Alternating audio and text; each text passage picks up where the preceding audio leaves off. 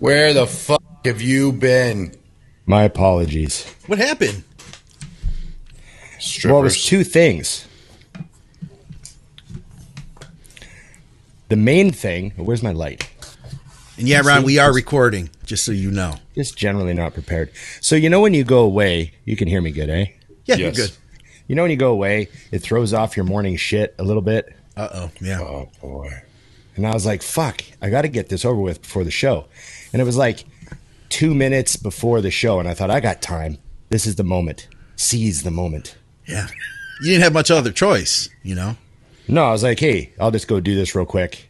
I might be a minute or two late. And then uh, I wound up being in there for a while. It was like seven minutes. And then while I was taking a dump, I realized I didn't have my phone with me. So I couldn't text you guys to tell you, like, I was just literally stuck on the toilet in like another world, separate from everyone else, disconnected. No there he communication. was. I might as well have been out. floating in space. You might as well have been in a coma for 14 minutes longer Right? than expected. Yeah. But, but, But you know, that amount of feeling alone really makes you reflect on things, you know? he's decided he like- no longer wants to do the show. I, I think it's probably similar to like standing on top of a mountain by yourself, right? Yeah, it's Because basically the same alone. thing. It's basically Yeah, the same Same thing. thing. You know? You know, you have all this Climbing a time to mountain, reflect. growing a tail, totally the same. Yeah, yeah. But hey, the best news is very, very great welcome home shit. Like back to normal. You know how when you're away on the road, they're just never the same. You're trying to get your fiber in and you kind of skip some veggies. Probably not as much then, you know, water as usual. Not as much, you know? but you know, whatever. Yeah, we were really, you know, it's a little hectic. And I, I, I ate completely randomly. Like I ate pretty clean, but I had junk and I didn't eat any veggies and like stuff like that. So you get home and you get back on, you know, the bedtime shake with all the fiber in it, and then you wake up and bam, we are fresh, reset. It's like I never left. There you go. It's good to have you back there, shitter. Where where were you? Where were you guys? And and and you guys also too. You left us a cliffhanger last week. Uh, you said there's going to be another a new announcement for Mutant, a new Ashley. Oh. people were Yes. surprised it wasn't me. You know, like they I know, all. I was know, surprised know. it wasn't you. Shocked. So yeah, Shaun Clarida has joined the team. That's so. So cool. yeah, just a quick reminder: um, like, share, Mm-hmm. subscribe, comment, Ring the bell. and this is episode 161 of It's Just Bodybuilding. Yes. That's insane. Okay, we got all that shit out of the way. Shaun Clarida is a mutant now. He was a mutant before, uh, but he's an he was a mutant before. mutant. So Yeah. I I was trying to get Shaun Clarida on the team when I worked there, and this was before he'd won the 212. Well I just before. thought he was. Sorry. well before. Well before, yeah. And I was trying to get him on just because, like, I thought height to weight or height to strength ratio, you know, his weight to strength ratio is probably the strongest pro on the planet in some lifts, right? Mm-hmm. So I thought it would, he just made sense to be a mutant. I was like, and plus I like Shaun Clarida. He's a great guy. Like, I always got along really well with him. He's, and he's hardcore bodybuilder. Like, that's, that's, that's all he does. Like, he's a bodybuilder. He's a professional bodybuilder. You know, I've I've known pros that were, you know, had all this other stuff they like to do, or you know, they were maybe a little loose with their diet, or you know what I mean, stuff like that. Not Clarida. yeah, He is like he's a robot. That's why he's a champion. So he he he belongs on the team. He fit right in, and he brought uh, a great dimension to the. Uh, the, the week that we just had, we just spent uh, five days in Vegas um, shooting mutant content. We call it the Mutant Mansion, and we've done a few of them. They're like content gathering trips. Yeah. you know, and um, you know, we did one in L.A. with. I remember the first one we did in L.A. in 2013 with Rich, and then we did one in Denver in 2014, um, and Rich was on that one as well. And then, um, and then we did one in Vancouver when I tore my quad. Yes. 2016. Yes. So this is a f- fun trip. We got a lot of content. You know, Dusty and I trained together for video and f- and photo. You know, w- you know, website content and stuff. And uh, they put the giant with Clarida for a workout. They had a workout together, so it lo- it's probably pretty cool video. You know. and um, you know we had Andrea uh, Shaw there, you know, two-time Miss Olympia, yeah. shooting for Mutant with Shelby, our uh, Canadian physique athlete. So she's awesome, and they were great together. So uh, check them all out on Instagram, you know, and uh, Yes. plus me and Dusty, the old fucks. You know? They're just trying to see how long we can hang on for dear life. That's about it. yeah, yeah, it was a great trip. We had a lot of fun. That's cool. My So, legs are um, sore, Ron. My legs are sore from that workout. Yeah, you know, we did like a really low volume leg day. Huh. Because like on those trips, you know, we normally do a heavy set and then a back off set. Like typically that's how I've always kind of trained. Yep. Even before we use those terms, we used to just say two work sets. But Yeah. that's how Dorian did it, so that's how we did it. Um, but when I shoot for mutant, I typically only do one working set. Yep. And um, it's because the guys shooting get tired too. And they don't need two working sets because the way the video gets edited, they only show one working set anyways. And, you know, it's all kind of montagey, you know, we try to move at faster pace. You know, I think the old style video where you just like show the, we used to show like the whole set, like from one, one angle. yeah. Yep. The, the Right. Matsuro Right. style. Like yeah, whole, the you know. Mitsuro style, you know, but you know, over the years, nothing. Yeah. everything's evolved and you know you, you want it to you know it's cut up more and so yeah they they only need one work set give them give them all you got give them a really really great set and then move on you know it's it's a long day for everybody they they've shot three workouts by the time they shoot me and dusty doing legs they've been on their feet since 7 a.m they've been standing in the kitchen shooting shake videos and like those guys have a lot a lot to do too you know Yeah. so um I used to be a professional photographer, so I can tell you it's it's a lot of work by the end of the day. You're just Yeah. as tired as the models. And in the you know, models you don't think about them getting tired, but they get tired too. And I can only imagine yeah. you guys lifting, you know. Yeah, like they're real workouts, right? You know, they're Yeah. all real workouts. So, um, you know, we uh we had some fun though. Did like a totally it's like something I don't normally do. We did Dusty wanted to do 20 reps on the leg press, which I failed to do on my work set. I didn't even Really? get to 20. Yeah. and then uh and then we did a heavy set of pendulum, like a real good like double forced rep pendulum set. Nice. And then we did uh, a single leg set. You know that Arsenal leg press with the the the divider? Yeah. Yeah, so we did like single legs on that for 30 to 50. Oh shit, that was totally you, wasn't it, Dusty? That was like your Yeah. yeah. Brainchild. And uh, so I did a set of 30 reps on there. Nice. Looking back, I could have done more, but you know, the first time you do something, you're like, eh, this feels weird. Yeah. If I would have done another set, I probably could have gone up a plate. Yeah, on a second had, set. like- you know what I mean? Like, you know, when you do that weird step up and you actually get stronger because you just haven't done an exercise for so long. So you have like that first work set almost as like your, I don't know, your, we also forget because we use adaptive u- set. Usually, when I do a single leg, it's still a normal platform. Yeah, and So- that had that. Yeah, Yeah, you were truly only doing five plates. You know, because we had ten on the machine, but it's Mm-hmm. one one side was locked in, so that was good. I could have probably left after leg press, which was the first thing we did. Because yeah. we're like pushing through, and I had one of those moments where I was like, "I'll just keep going and see when I can stop." And I got like forty reps, and I I had I had to literally we went straight over to the pendulum to do those, and I almost had to feel like I was pulling myself down with a plate on a side, like gravity was not enough for my legs to like bend They were so pumped. at that point.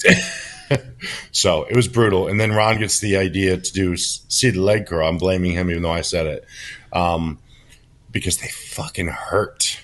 That that which one? What, which machine? Which company made we that used, leg we used the old Cybex at we were training at the Dragon's Lair all week. Yep. So it's Flex's gym, right? So Flex, thank you, Flex Lewis, and the whole team at the Dragon's Lair for welcoming the mutant uh, crew and letting us just come and go and leave our shit everywhere and fucking put our camera stand in the corner and you know um, and and all the members were just great like you know they were all like you know smiling at us and head nodding and saying hi and That's several cool. guys coming up and saying they watched the show Nice. um, True.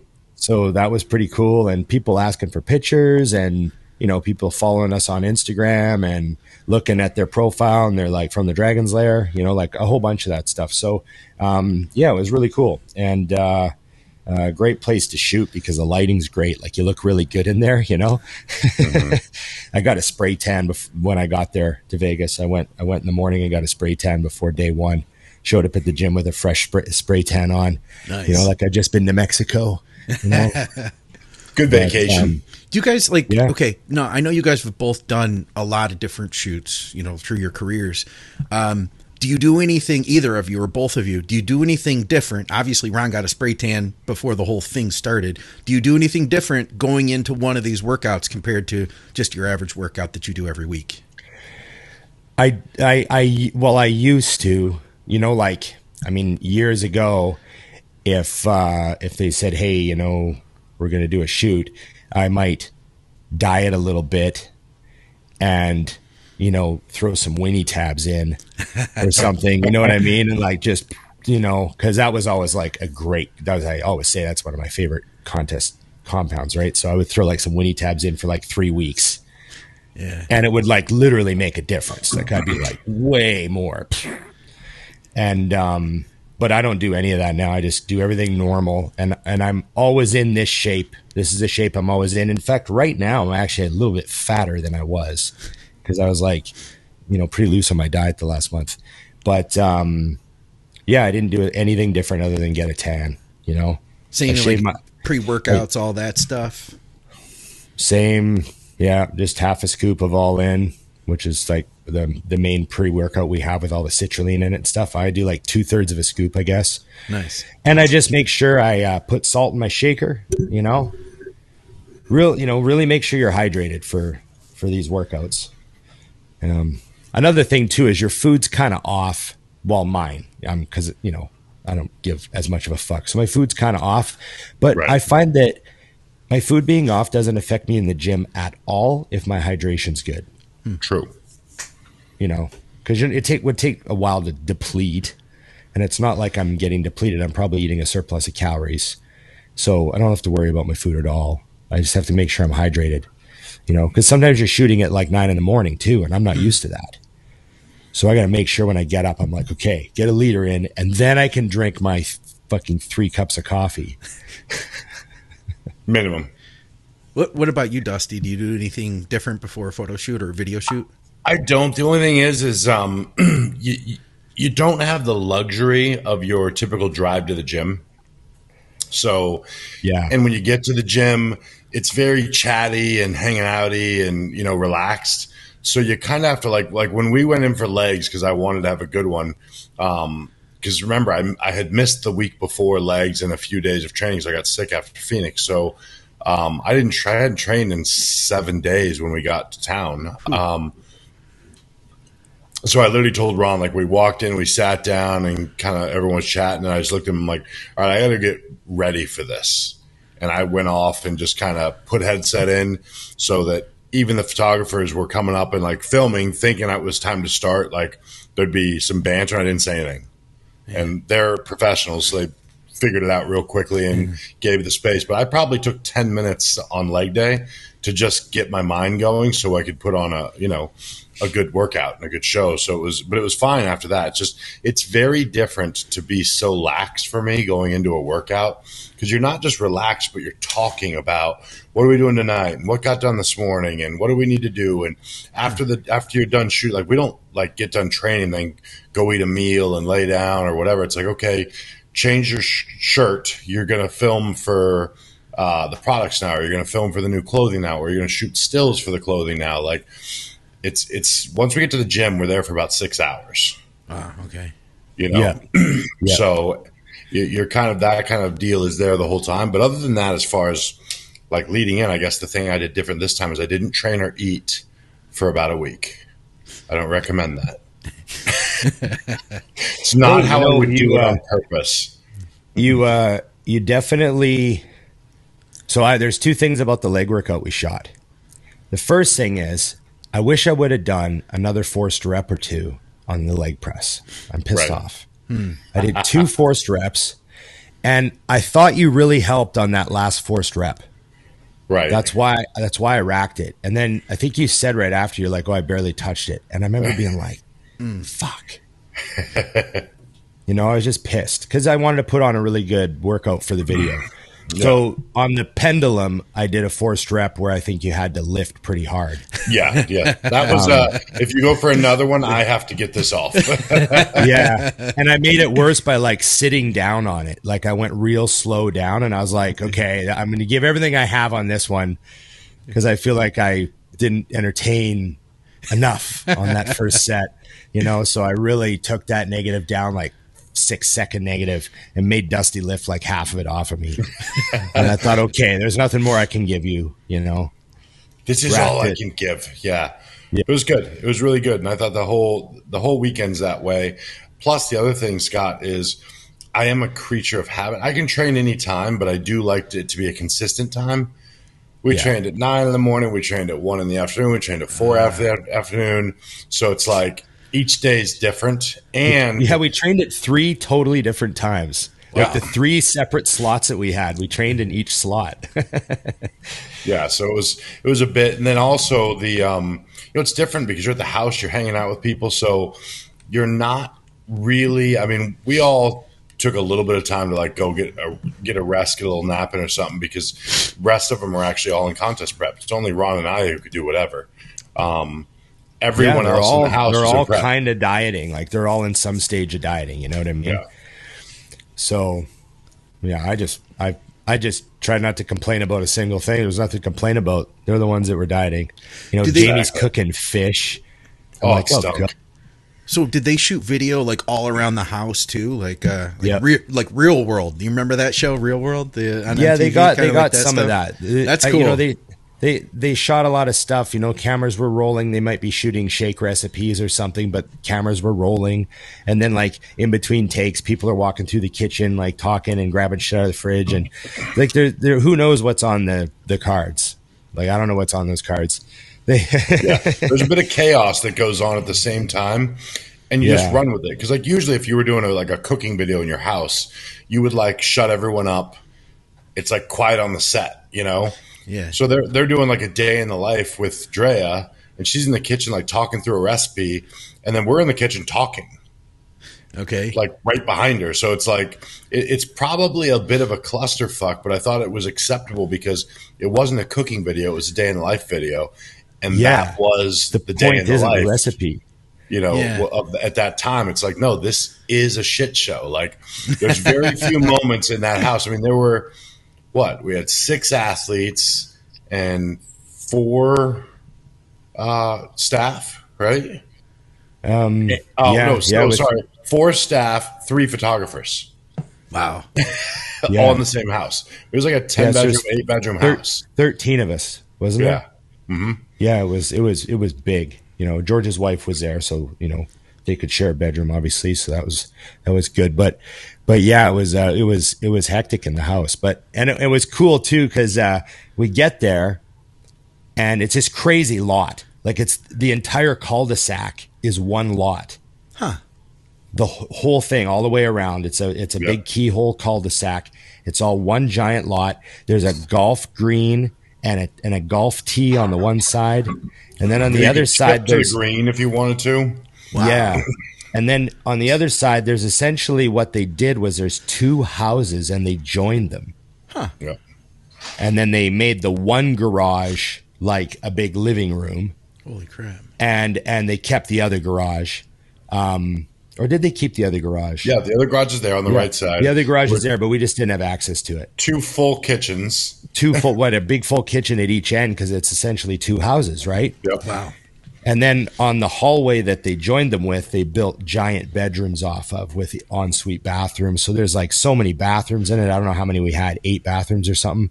Yeah. Um, so it was pretty cool. You know, it went really well. We all had space. We all had our own room. We all had, you know, our own weed. Oh. we all had our own weed. yeah. They didn't supply that, if anyone's wondering. We had to get that ourselves. no, no, no. That does not come from. Not come with the Airbnb. no.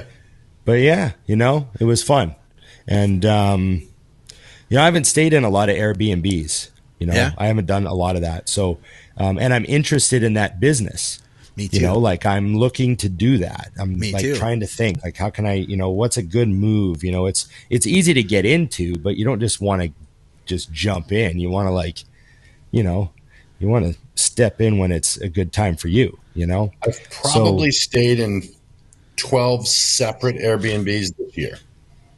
Yeah. So I'm kind of observing. I'm like looking around, like what is what's the quality of this? You know, how is- Mm-hmm. what's falling apart? What state is this place in? Like how are you know how does it look? You know, just trying to learn. Yeah, what do they that have one set was, up for you? That one was actually not. Um, it wasn't as nice as most of the ones I stay in. Uh, now, granted, most Airbnbs I stay in aren't ten bedrooms.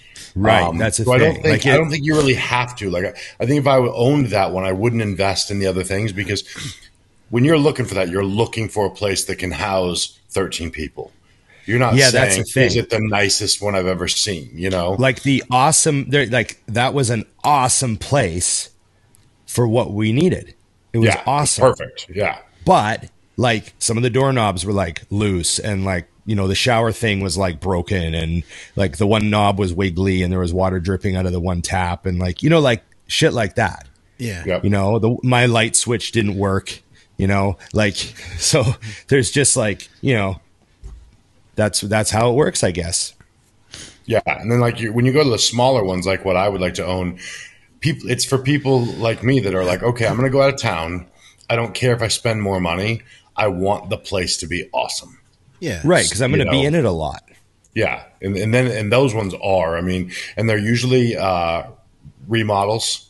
So like I do a lot of, I really like uh, mid-century modern uh, architecture. Me too. So I look for those, and I always get like I got one when I was in Phoenix that was sick.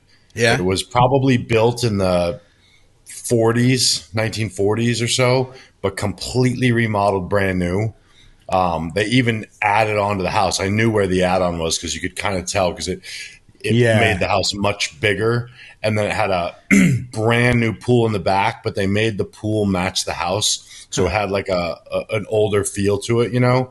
But it was obviously you should two years send old. me you should send me what you're talking about I, I can't I, I can't quite like Hold, see it please. in my head oh okay he's gonna send me I got something You, I got you right. I'm going to send it to Scott. All right. Oh This is send it to happening. This is happening now. That way I'll throw it up on the screen. That's funny. I I because I wanted to ask Dusty about real estate stuff because I know that you know you have a ton of experience with that stuff, Dusty. And I was thinking, I was like, hey, uh, initially I was like, I wanted to call you at some point and be like, hey, can I pick your brain? And then my second thought was, why don't I just ask you on the show? Because every time we ever talk about business, people are like, oh man, I love that. You guys should talk about that stuff more. I actually had a oh there it is now. Uh, I had a couple questions. Okay, I see what you got going on here. So this is the outside of the house. Let's see. Let's throw that up.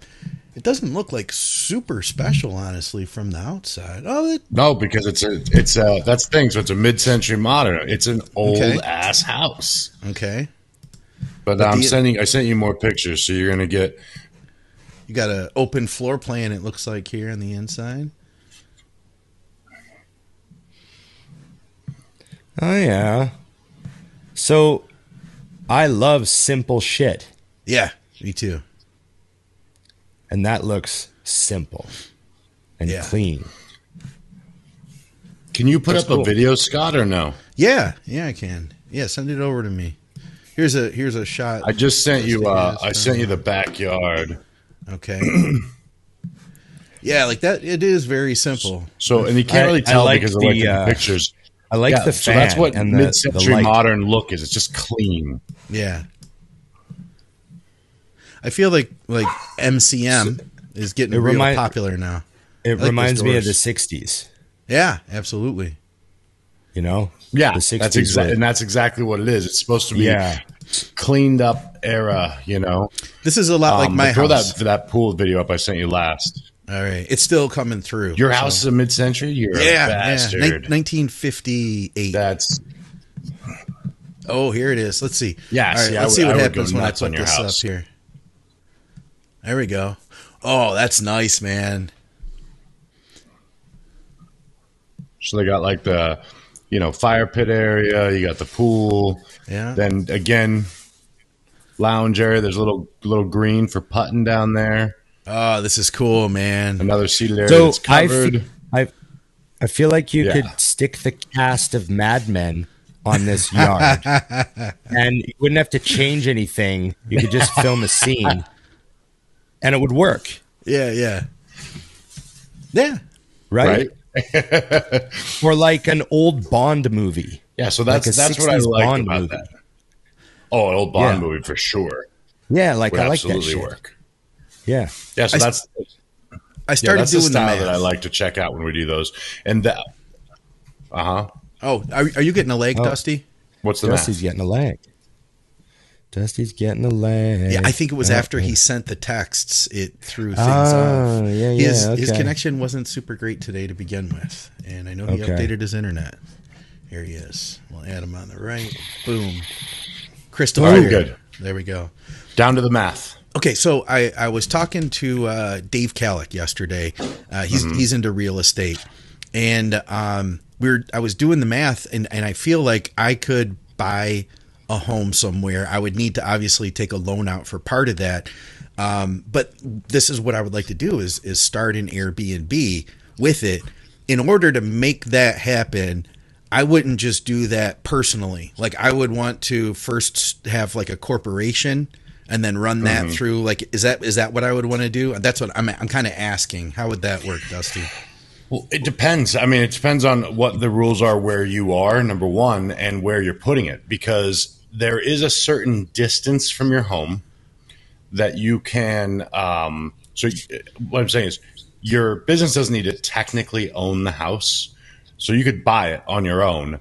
Um, and if it's far enough away, you could use it as a second home, which gives you a better interest rate. Okay. Um, you can only do that with two. And if it's right down the street, it doesn't work because they wouldn't be like, well, why do you have two houses that are 10 minutes from each other? That doesn't make sense. Yeah. That has to be an investment property.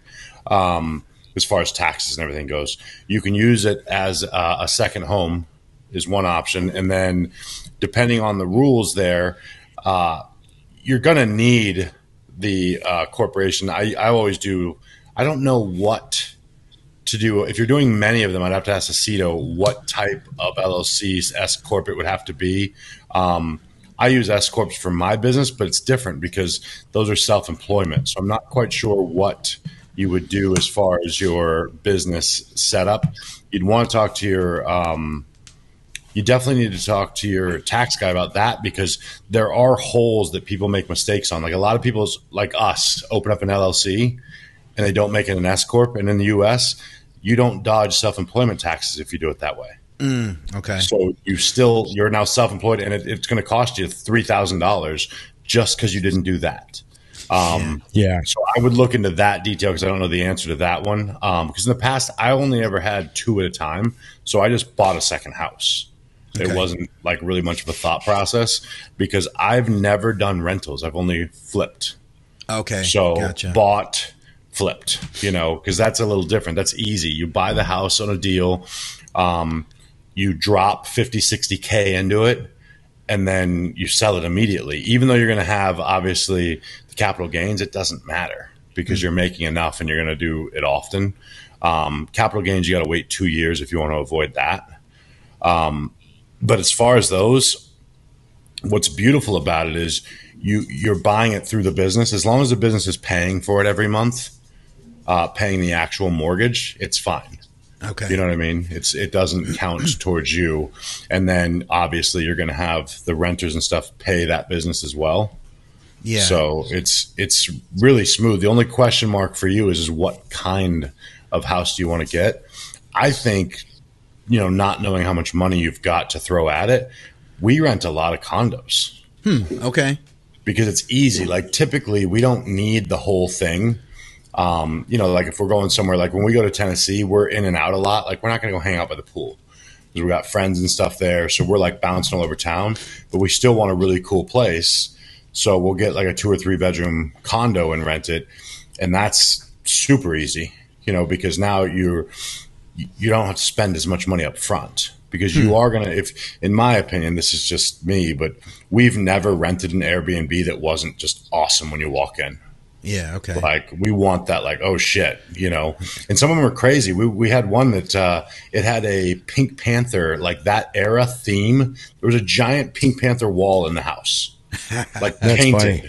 You know, but it was just cool. They get they had a they all have a vibe to them, which I think is is kind of awesome you know, yeah. and they base it yeah. a lot of times on where they are too.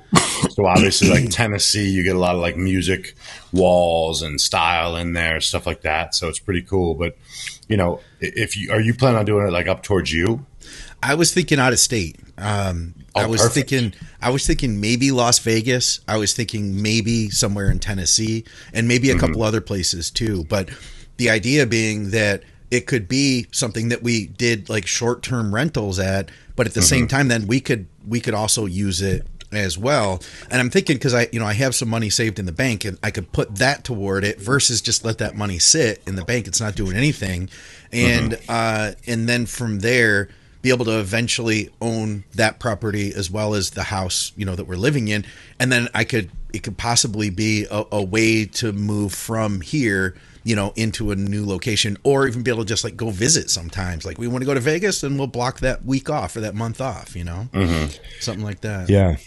Yeah. I mean, obviously, yeah, there's lots of little things to know. Like, like I don't know how it is in the states, you know, um, but I know like here, you know, if you buy it yourself, it's ten percent down. But if a corporation right. buys it, it's twenty percent down. Oh, really? Okay. Yeah. So it's you need a bigger down payment if you want your corp to own it, and then you know, blah blah blah blah blah, and it just so yeah. You just yeah. buy yourself, well, and, and, then you just have them pay the corp. And mm. yeah, there, there's a lot with that too, though. Because then if you don't put twenty percent down, obviously now there's mortgage insurance.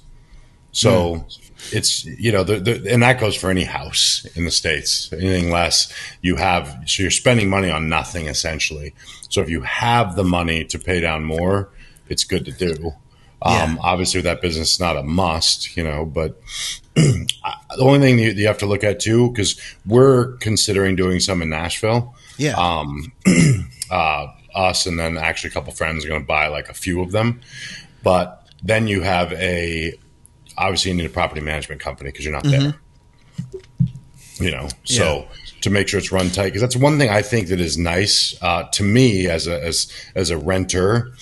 I have found that every experience we've had when we've rented from an individual was better than when we rented from a giant corporation that owns 500 of them. Mm. It's always different. Hmm. I mean, like, There's, like the personal touch is completely gone. If you need something, you're fucked. Hmm. Um, right. You know, like we've had issues where the only thing they could do was give us money back uh, because that issue was an issue in kiss ass. You yeah. know? Yeah. Whereas the other ones, I mean, we went to one in, in Nashville or in uh, Chattanooga. I mean, when we got there, there was a handwritten note from them, you know, to us, you know, Dusty and Nikki, glad you could stay, blah, blah. And like they personally were checking in. I was, it was off That's the charts. Cool. That's and I was cool. like, okay, if I was going to do this, even if I had a, you know, a management company, I'd be like, these are things I want because it's definitely that warm fuzzy. Like, oh, like we immediately said we will rent this unit again yeah. for sure. Yeah, you know, yeah, that's stuff. Yeah, that's the me. thing that that business is evolving like crazy, and we're seeing, you know, the the real entrepreneurial spirit like you know coming out in it like and you, you stay at places like that and you see that people taking that approach and you know what I mean? Um, so there's lots of different ways to play the game, but you know, it's interesting stuff. Um, I think the intangibles I, is what makes you special, though. Same with like I told yeah. Ron this over the weekend. Like, is is West Coast Iron the best gym, minus the people, minus the just the equipment that I've ever been to? No, but it's really really good and once you bring in those intangibles, and not me, every single member in there, they know the owners, they know the staff. They like it is legit. And I hate this term because it's overused, but they're a part of the gym. Yeah, like it's their yeah. gym.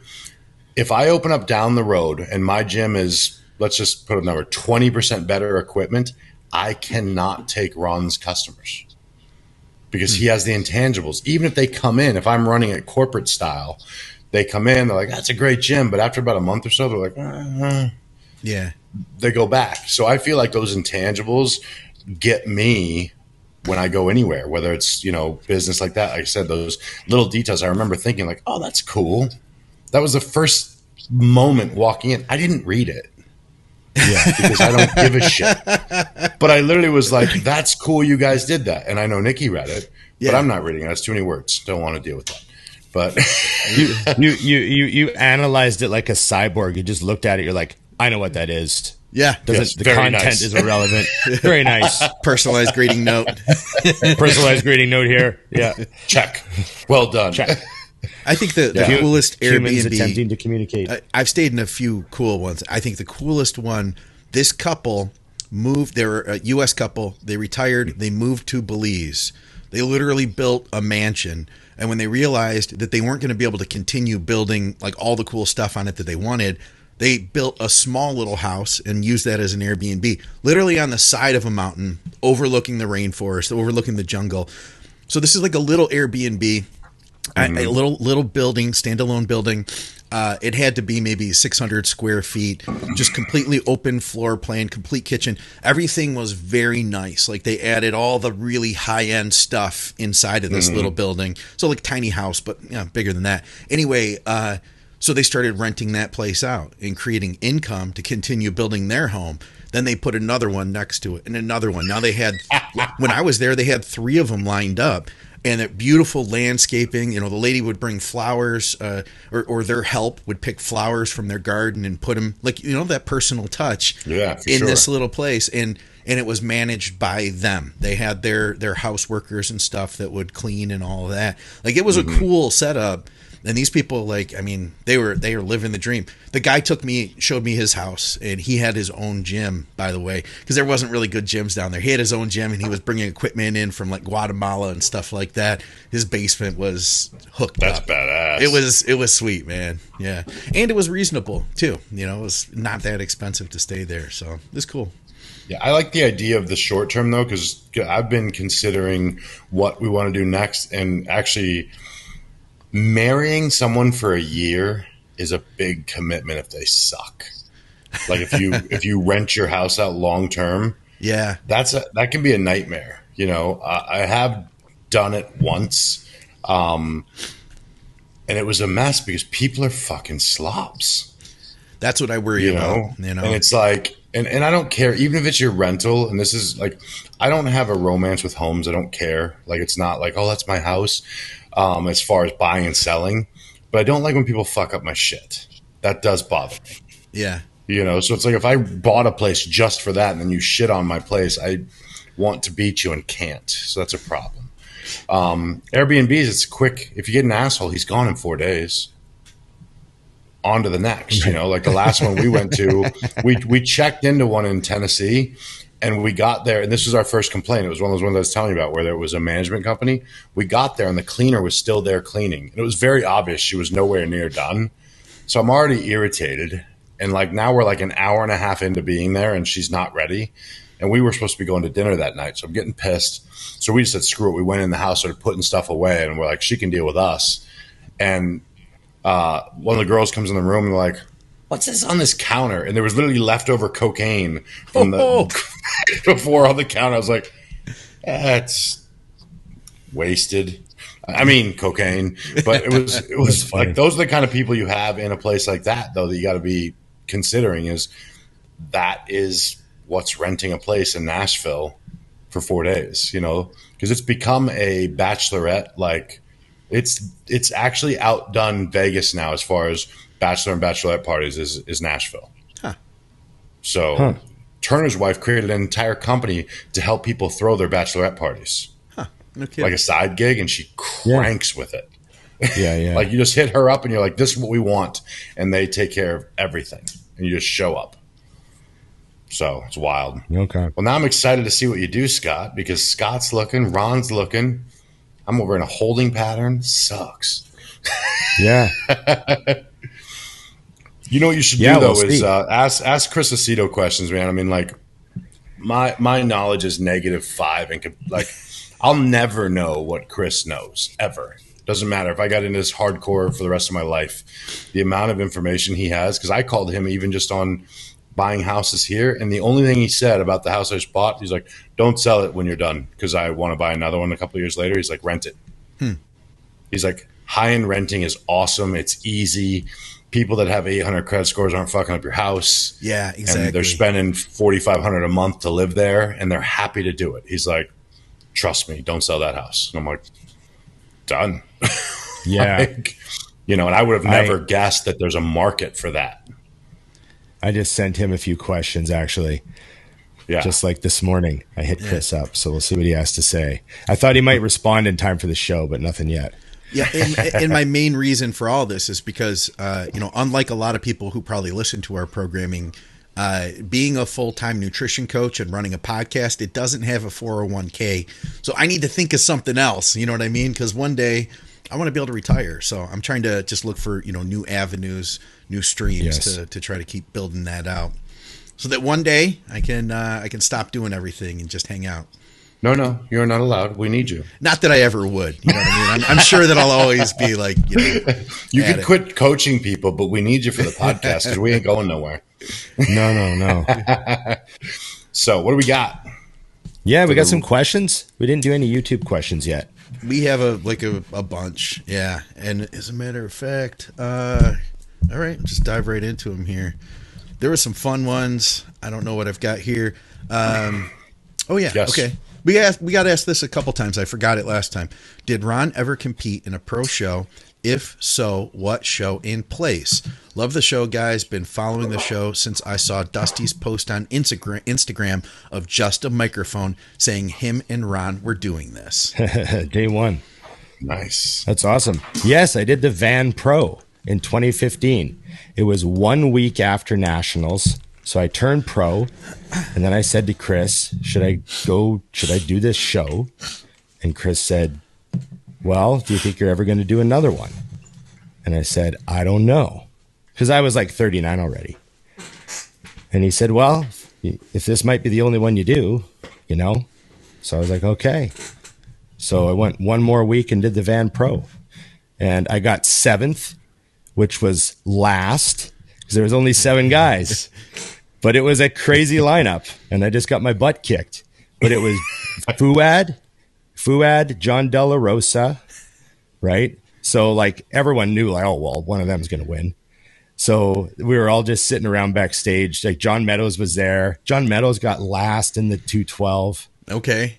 I remember and, that. That's just, right. Yeah, I yeah, both of you guys. So me and John were both joking. We're like, we both just got our butts kicked. You know what I mean? and we were both like pretty lean, you know. So we were like, ah, fuck, whatever. But yeah, I was I was a bit of a mess at that point. I was pretty beat up. I managed to get my pro card, but on a pro stage, you know, you could see that my one lat was a little bit high, so it really hurt me from from some shots. But yeah, it was uh it was definitely a lot of fun. There was a ton of support there. Uh, Shawn Ray emceed it. Oh, wow. And um, I remember he actually cracked a couple of, of good like comments about the crowd I had, so it was uh, it was good. yeah, and there's actually a video on YouTube where I look pretty good. So yeah, you can look for it. Nice. There you go. And then I blew my quad. Mm. Boom. I was there. All right. mm-hmm. Um, question for the next show: What is a movie y'all could watch anytime it's on? um, or have watched multiple times and still it's just as good as the first time you watched it? I'm not going to go with my traditional here because I have a few that I've already mentioned in the show. Like I think Shawshank Redemption is always watchable. Um, but I want to go another route today, and I'm going to say every single year we watch Elf huh. because Elf is fantastic. There's something terrible about that movie that I can't get enough of. So, yes, that's a, a yearly watch. Elf. Elf. Okay, yeah. understandable being a Christmas movie. Um, I I try to think of other movies to say, um, but it always kind of yeah, it's always kind of Pulp Fiction to me. That was a good one. Well, I knew it. I was like, I know what he's saying. I, I think one of the reasons why Pulp Fiction is is is always that movie for me is because it's the movie you can come in on at any point and you're probably catching the start of a new scene. and since true. the scenes are out of order, anyways, it doesn't matter. It's still fun. Like you're just hopping right in at this point, whatever. Yeah. Like you know, and you you you know how it goes, and you know what you missed, but you're still. It's still. It's like a great album. You can start on any track. Yeah. You know, it's like that, and it's just such a such such a wild and well done, you know, movie, and it's all the dialogue that makes it crazy. You know. Is there and a more quotable it, movie? Yeah, and, and right. when you watch it more and more and more, you you you get the dialogue is is better and better because you're like, oh, fucking yeah, you know, there's a lot of just so many little references in there and and hilarious little bits, you know. So it's good shit. But yeah, how quotable is that, eh? You know, there's there's got to be at least uh, like a um once a week something will happen that you could easily quote. I mean, you know, I mean, we had some tasty burgers this weekend. We did. Yeah, I mean, yeah, yeah. I know it's a tasty burger. It's a tasty burger. Yeah, I, I, say, I still say five dollar milkshake. You know, I and and and it's funny because I've been around people who've said, "Oh, I wonder if they have a five dollar milkshake." Right, like looking mm-hmm. at the menu, and and I always say, "I hope there's a shot of bourbon in there." because that's his line, right? And yep. they always get they always get it. They always appreciate it. They're like, oh yeah, you know.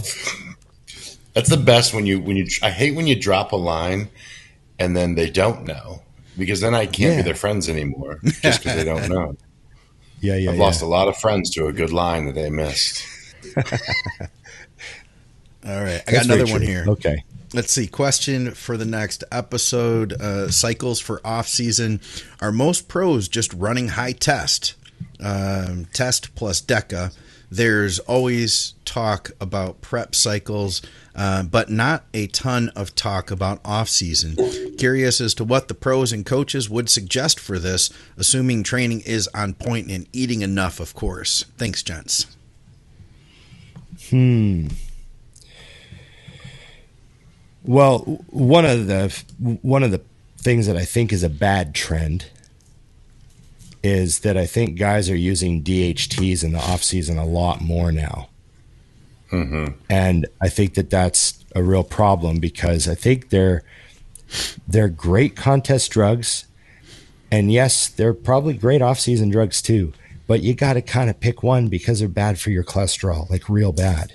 Yep. I don't think people realize how how fucked up their cholesterol is getting by running DHTs all the time. Because we didn't see like I don't know, man. I've been looking at guys' blood work for like 25 years. You know, and I don't remember seeing like everyone having horribly like really low HDL. Like everyone's like right. 0.7, 0.7, 0.6, 0.8. Like it just was never it was never like that when we were all just running tests and stuff off season. I don't. I just don't remember it. That's just how it seems to me. Again, not a scientific study. so I just feel like not true. Yeah, I, I just feel like I see like it would make sense if guys are like 35, they've been cranking forever and their HDL's low, but when they're like 24 and their HDL's like 0.7, I'm like, mm-hmm. what are you taking? And they're like, oh, Masteron and Anavar and test, and I'm like, oh yeah, like all the time. Yeah, that's a problem. Yeah, that's yeah, it's or the tons of primo. I don't know. That's my opinion. That's, that's my new, opinion. It's a new popular thing right now. Is yeah. the, the, the primo or the mast, and and I, I get it to an extent, but I do think that here's the thing: is that everybody has gone, and I've talked about this before, anti anti estrogen. You know that we came to realize that you don't want to just hammer Arimidex year round at a high dose. Mm-hmm. It's not like a completely innocuous drug. It is a drug and it does have effects, but now it's like the way bodybuilding looks at it. It's like we can't take that. It's terrible. Don't use it at all. But let's use this because this is the answer. You know, for now, that's that's what mm-hmm. I think's happening. Right. Yeah, it's a back and forth. Right. Um, I think the reason there's not a lot of talk about it is because, and this is this I shouldn't say it across the board. The reason I don't talk about it a lot is because I don't find it as important in the off season um, what you take. It's it's you know within reason, not not to go to say the old last week program of as long as it's a gram, you're good to go. That's not what I mean. For those that are about to twist it, but you know I'm like, what do you? I literally will ask clients, what do you have at your house right now? Oh, cool. You got Test and Deca. That'll do. Let's do that. Um, and the other reason is because I like to spend time. This is something I'm adamant about with clients, and my clients will tell you if we're not seeing absolute gains when they're on TRT or nothing, then we don't go on a cycle. Because hmm. to me, the mistake is is when you're taking a bunch of gear, they hide mistakes. Next thing you know, you're growing, but you're not growing because you're on a good plan. You're growing because you're taking a ton of drugs. If you're seeing a little bit of gains from your from your diet, OTC supplements, you know, your rest and your training, then good news. When you add any basic cycle, you're good to go. You know, I also think that athletes need to be thinking about, especially like I remember when I was competing more often, um, when you're hitting two shows back to back, like I would do the USA's and North Americans back to back. They were five weeks apart, and I always liked long preps. So I'd be dieting for 20, 25 weeks, which means I was on drugs for 20 to 25 weeks. I didn't, I'd maybe do one cycle in the off season before starting that again, you know? So I think that's why some of us just don't talk as much as a it's not that important um, there's not a magic i've never said and i have played with different cycles based on what people have and i've never been like oh fuck that's yeah, I've never stumbled upon the. Ma- oh my god! Yeah, now I know, and that's why the the answers never change. They're like, oh, I'll say like, oh, can you take Deca? And they're like, oh, I don't have any. I'm like, well, what do you have? And they're like, well, I got you know NPP. I'm like, oh, in my head, I'm like, same thing. Not really, but it'll do. Same, you know? same, same drug. Yeah, different ester. Yeah, yeah. So I'm like, that's fine. You know, I don't get into the specifics of it. So easy. All what right, else? we got one from uh, Jeremy Jason. Oh boy, this is for Ron. Yes. Guitar, Guitar Thunderdome. Two men enter, one man leaves. Ron Partlow versus Dorian Haywood. The loser dies. The winner dies. has the the winner has dies. the honor the honor of being strapped to the front of a post apocalyptic monster truck to tra- to thrash on guitar while chasing down his enemies in the desert. Who's your pick? Actually, oh, it's, so, it's it's I think a question for me and Dusty.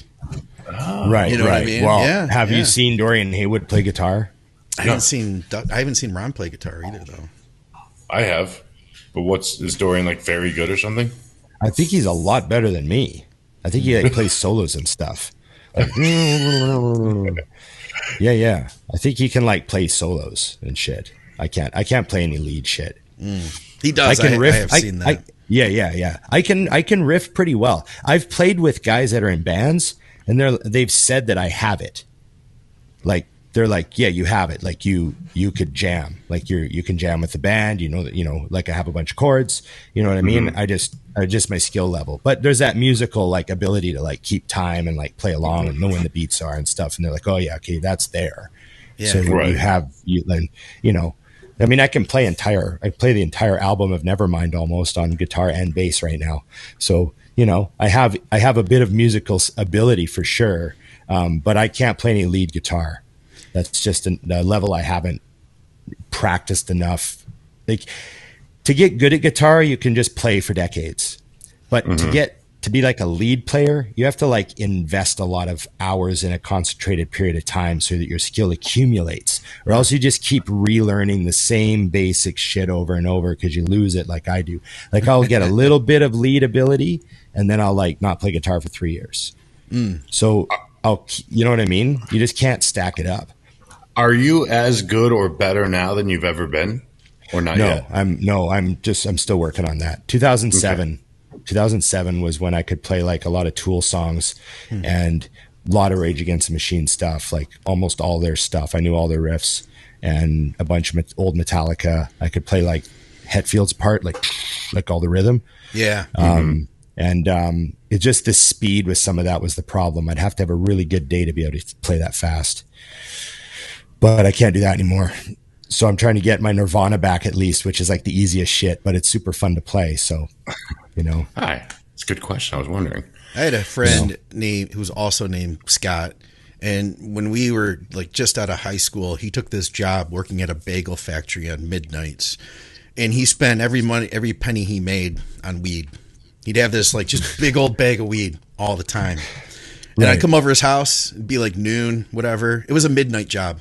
So I'd come over his house, it'd be like two o'clock in the afternoon, and he'd just be like waking up, and he'd be like, "Hey, what's up, man?" He'd roll up a joint as his eyes are still closed, spark it up. He'd be like in his boxer shorts and a bathrobe, bathrobe hanging open. I remember he had uh, he had his nipple pierced with like this this upside down cross, right? Take like five hits off of a joint, yeah. Take like five hits off a joint, put it out, light up his Marlboro Red, and go get his uh, his his uh, Flying V. Is that what you call it? The Flying V guitar? The Flying V, yeah. Yeah. And, I just uh, thought about the Mighty Ducks, but go ahead. he'd like take his hair all back and you know put it like back in a ponytail to get out of his face, cigarette all hanging out, and he'd turn on that Marshall stack, and he'd start out with like any Metallica song, and not only did he play it, but he had like the steps too, like that Hetfield would do. So it'd be like ba boom, and then he'd like take three steps forward and three steps back. Ba boom, three steps forward and three steps back, and then just Yeah, yeah. do do do do do do do ba da ba da ba. Like, and he that's how he woke up literally every Creeping day. Death. Yeah, Yeah, That was his Yeah, you knew. routine. every day, man. That's how he woke up. Yeah, His little Creeping Death to him. wake you oh, up. Oh, so Yeah, bad. yeah, Yeah, yeah. Yeah, I love it. I love it. I've met some. I've met some. Some. I've met some people that were unbelievable guitar players. Yeah. There's some guys out there that just, you know, they just never, they never really go for like the the you know they're like part time guys that like you know sell real estate and play in a cover band, yeah. and you're like, fuck, dude, like you got like like you know they can play anything.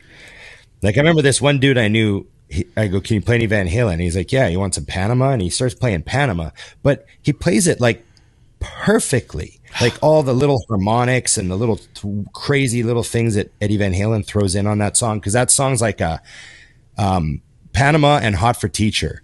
Those two songs off 1984 are to me like everything about Eddie Van Halen that I loved guitar wise. Like he puts all his tricks in those two songs. So um, he could play that stuff. And I'm like, Jesus Christ, this guy just, but he sells houses, you know? you know? Amazing. Yeah. All right. Um, let's see. Ron was on fire with, with this one. That was that was the uh, the episode where you did the whole breakdown on the Texas show. Oh, yeah. Yeah. My apologies. it was good. People loved that. Uh, question: uh, Build the ultimate Mister Olympia from the current pros. Imagine them at their biggest, leanest, driest, etc. But also take into consideration who has the most beautiful physique, best flow, shape, and representing bodybuilding physique wise, and also marketing wise, social media. Brand ambassador promoting the sport like Jay did. Uh, excited to hear your answers. Huge fan. All the best to you guys. This is from Luke E. It's a big question, Luke. It's a lot. Do you know what's crazy though? Like my knee jerk as I was reading, building the best Mr. Olympia of all time. Here's what's scary, and I, I believe this to be true. If I could literally piece together the best physique I could with as great as the competitors are now, they couldn't beat Ronnie. No. He's still better. Like literally, you cannot. And that's not a shot at me. That's just how good he was. Like I really don't think you could Yeah. piece together a better bodybuilder than Ronnie Coleman from the stack that's But- currently there. Yeah. Like 90, you know, 98 to 2003 was. How about 2001 Like- when he just just did the uh, Arnold and just fucking ugh. Yeah. Yeah. Crazy. He was um he was he was the best. 2003 Ronnie especially was the was best, like the biggest, you know. That was as big as it it was as big as it could get without anything going wrong. You know? And uh cuz you know like we've talked about like the actual physical limitations of growing that much muscle on a body, you know, Yeah. nerve and pin- nerve impingements, discs in your back collapsing, you know, cartilage disappearing in your joints from the weight, you know, like there's there's physical limitations to the human body, you know? And um that was kind of like where Ronnie I feel like 2003 was where like that was the last show and then the body started to like you know All right, so let's try to answer the question though. All right, let's so we'll start in the middle. Who's Well, take Phil Heath. Let's just start with Phil Heath. yeah. Okay. We're the second just put like just put 2012. Yeah, but let's just take 2012 Phil Heath or whatever, 13 Phil Heath, whatever year, and just put him like as the base. So what do you do? You just got to widen okay. the shoulders a bit. There you go. Or you, or you or you take 03 Ronnie as the base. He, no, no, but, like, but he said bigger current. calves. He said current. Uh, so we oh, can't current. have Phil. We mm. can't have Phil, and we can't have Ronnie. You gotta sorry. You gotta follow the rules. You're already cheating. How did I totally miss the current? I missed the current. I don't, I Didn't see it. It's right there. It was right there in okay. bold black letters. All right. So who's our current base? Well, I guess I mean you'd have to kind of like you have to allow for structure skeletal size differences if you're going to be moving body parts around. They yeah, all have to sure. scale. They all have to scale up and down. Yeah, of course. Oh, I don't know. I'm tempted to start with Hadi. That's funny. I was I was going to say Hunter. So um, right, just right, because okay, his okay. physique can hold that. Mm, he's got the shoulders. He's got the waist. Yeah, you're right. He's got a bigger you know? frame. Okay. So okay. all right. So we're going to start with Hunter for argument's sake. Okay. Triceps. Oh, this sucks. Like, can I what count, do you even? Can I count Roelly as a as a current guy or no? He competed like a year ago. Know. Do you bother yeah. switching anything? Hunter could just win. but I just want to make him even freakier because I would love to take Roelly's triceps because I'd like to put them on anyone. Yeah, you just want Roelly's triceps. Yeah. yeah. Okay. Well, so, who, taking- so who's I, who? If we're gonna just do this, we have to pick like who has the perfect skeletal frame. I don't know, Brandon. Who's who's wider than that? If you're going for skeletal frame, if you're going for like that pleasing, well, I guess frame. I mean, we've got our current Mr. Olympia has the biggest skeletal frame. Okay. I mean, does so that, have to, does that I guess that's start there. Then. You could start there. Yeah, we'll start with. We okay, start there. We'd always like change the waist. You know, is that possible? Yeah, yeah. You give him Hadi's waist. Is that just how you do it? Just give him Hadi's waist, and then yeah, give him like uh, give him uh, I don't know someone's calves. Who's got the craziest calves? We we give him Hunter's calves. It's fine. Hunter's calves Hunter's ridiculous. Calves. So yeah. scale Hunter's right, we'll calves up for his frame, and uh, scale yeah. Hadi's waist for his frame, and then and then you know, I mean, Ramy's back isn't the most detailed. No, it's it's, it's the widest, but that's the frame. So whose back do you swap out? I don't know, do but I think we got Dusty? Dusty's frozen. Yeah. He's he's there. Yeah, yeah, He's there. I'm just trying to think. Who's got the best back in the IFBB right now? I'm confused. Though. Like I'm getting really lost in the yeah yeah the you get really here, lost you know it's, it's, see well that's we've we've honored we've we've honored the question with this much time it's a difficult question yes we have hit philosophical roadblocks that's that we just I was still frozen for a minute yeah yeah. I know it uh, yeah I think this is a philosophical question that is going to be you know can't be answered can't we be answered tried. right now all right, we have like a hundred more questions still. Uh, oh, good. Yes, yes. Um, we're about hour in. Just throw it out there, guys. oh shit! Look at this one. What's Ron's opinion on a pan- the Pantera? Excuse me, Pantera reunion tour? Uh, will he be attending it if it comes to Canada?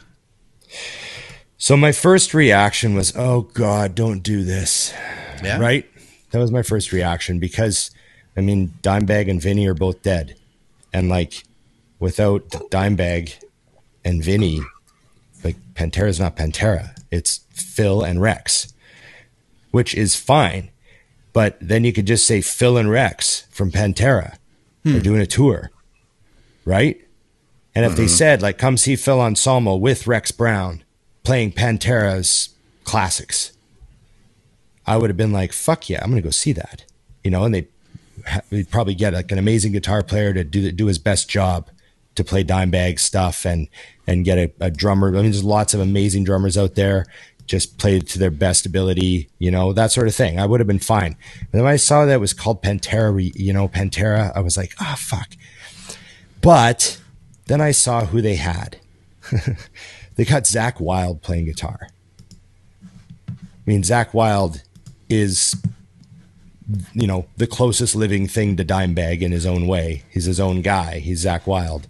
But like, he, you know, he's the only guy that fits. to play Dimebag's music. And then they got, I can't remember his name because I wasn't a big giant fan of the band, but the drummer from Anthrax, which is one of the original four thrash metal gods from, you know, the 80s. Anthrax is, you know, in there with Metallica, Megadeth, and Exodus as the original four thrash metal bands. So they've got an amazing drummer who is like right. Metal to the core and fucking loves Pantera music. And they've got Zakk Wylde playing guitar and I'm like, I might go see that. So that's where I'm at. That was my emotional story of of hearing the news and realizing what was going on. I actually thought that was great because I liked that just the way they named it made you consider telling them to fuck off. because you were right. willing to go if they had worded it the way Ron, not everyone knows your rules, Ron. I know. See, that's an exact right out of curb right out of curb. I have all these rules, and not everybody knows my rules. And I can't be so upset with people. I know I've given myself the speech. That's me in a nutshell. Oh, that was great. That I'm was super great. upset with you because you don't know the rules. You know, what rules? My rules. My rules. All right, we've got another one here. This is from Lucas. He's a longtime follower of the show, big supporter. He reshares a lot of our stuff, and I yes, wanted to mention Lucas too. Lucas is awesome you guys both know him. Uh, he works with a company called Prometheus.nl. They're European distributors oh, yeah, yeah. of yeah, yeah, yeah. products. Yep. So yep, Prometheus does a lot of business with Mutant. Yeah, okay, okay. So yeah, you guys can shop if you're in Europe. Check out Prometheus.nl. Uh, he says a question for the next show: uh, What kind of decor uh, do you plan to put in your house, Dusty? Are you planning to incorporate that bodybuilding vibe into it, or are you going to go more modern style? Definitely no bodybuilding vibe. I don't. I've actually never brought a trophy home. No, um, really. Mm-mm. Never. My mother has all of. He's them. never won a show.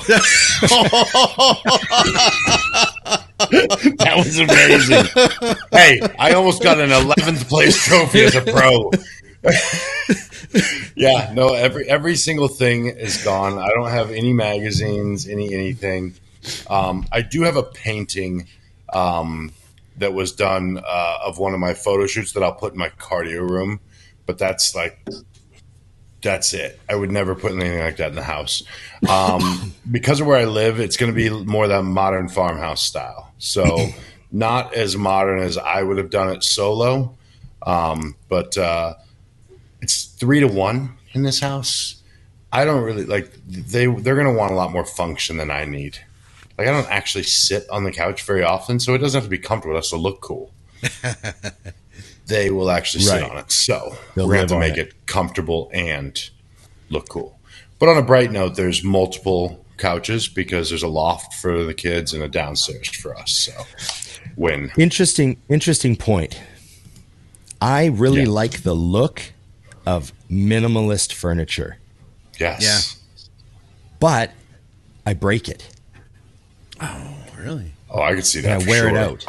Right. Yeah. I lay. I said I drop down on the couch, throw my feet up, and you know I'm two, still 245, so I'm still heavy enough to like be really, really hard on stuff.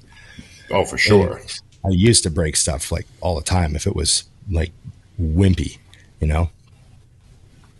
I know yeah, you would have to. You would definitely need to be cautious with that. But yeah, because for like my old furniture, I absolutely loved. I just sent you like a an inside glance there of the uh, what they did the other day, Scott. so oh, this is we've got now. Yeah, that was that was just yesterday. Just a little. They've got the uh, backsplash thrown up there. There's they've got the floors all covered. They're done, so they're just kind of making sure you can uh, see them. But yeah, it's it's got a you know modern feel, but it's definitely going to be more cozy. Is the plan? That's cool. So yeah, basic stuff. Like the Lucas came with that. I, I haven't seen him in forever. I've known him for like a decade. Oh yeah. From going over there, yeah, at least a decade. All right. Well, I got one more here because I know we we needed to do two programs, so I wanted to close this one out with yes, with a, good with call a, with a comment. Andy Holden says, "Brilliant podcast as always, lad, lads. Uh, just uh, so you know, blowing someone off means something totally different here. in England, so it sounds wrong when you say it. So he's All right. So, so if we're blowing someone off, we're just blowing them. Is that what think, that means? I think this, think that's what he's getting at. I don't remember what we said, but we talked about like Well, not just blowing them, blowing them off. It means you're really good at it. Well, if I was gonna Right, do finishing blowing, the I would be good at it. That's key. That's very. I mean, if you're gonna get started, what's the difference? That's funny. Oh God. Well, Did you see that was that was asked of Jose on the last uh he was on Bro Chat, I think it was. And uh, and the question was uh you're giving a guy a blowjob.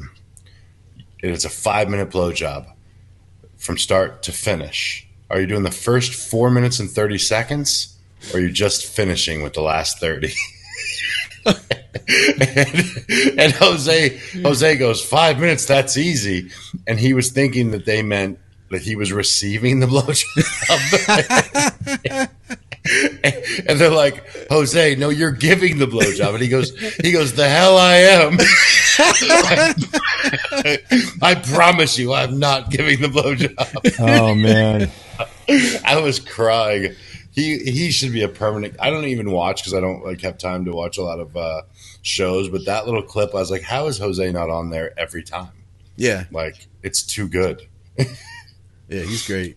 too good. This is what, and this is how much rivalry there is in podcasting. We talk about other podcasts on ours. Go People didn't used to do that. People didn't used to do that. You know, people used to say it was on another show. We won't mention. Oh, that's pathetic. we won't mention the name. That's so pathetic. Weak. Anyway, sorry. Now I've- I'm not going to rant. I'm going to stop. Ron, There close us go. out, sir. We're done with this one. okay. Remember, everybody, like, share, subscribe, comment, and Ring the bell.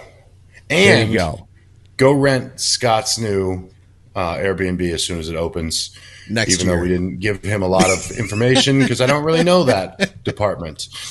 I was like, oh, I've never actually done that, Scott, but good question. We'll After ask I the- find some people that can actually help me, someone then, then will we'll open it. actually answer within our comment all the questions we have no idea about now. Yes, and, and if we didn't get to your questions, then definitely comment again. We do our best, but uh, you know, it, it's it uh, it's a lot. You guys sent us a lot too, so it was awesome. Which is awesome. Okay. Thanks, everybody. Remember, it's just bodybuilding.